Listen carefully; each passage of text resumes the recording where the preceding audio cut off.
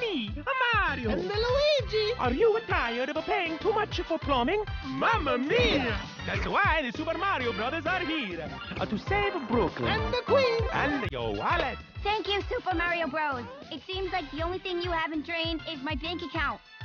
Forget the expensive plumbing companies where you're just a face. With the Super Mario Brothers, your family.